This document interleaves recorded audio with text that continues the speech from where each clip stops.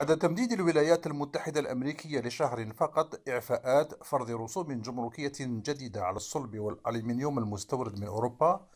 الاتحاد الأوروبي يعلم منظمة التجارة العالمية عن نيته للرد وتطبيق رسوم جمركية على المواد والسلع الأمريكية التي تدخل أسواقه لتعويض الخسائر الناتجة عن الرسوم المفروضة أمريكيا والمقدرة بحوالي 2.8 مليار يورو.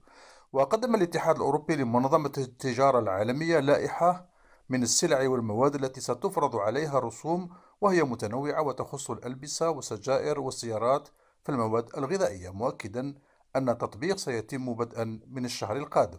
الاتحاد الأوروبي ليس الوحيد فالهند بدورها تعلم المنظمة العالمية للتجارة بأنها ستفرض رسوما جمركية على المواد المستوردة من الولايات المتحدة الأمريكية وخاصة زيت الصويا.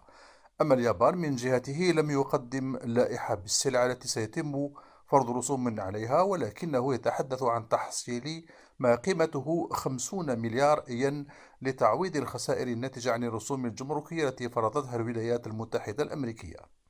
الشهر القادم إذن سيكون حاسما للتجارة العالمية التي ستدخل في حالة حرب تجارية مضرة للاقتصاد العالمي إذا أبقت الولايات المتحدة الأمريكية على موقفها الحالي. لخط فرات لبرنامج أموال ومسارات بروكسل.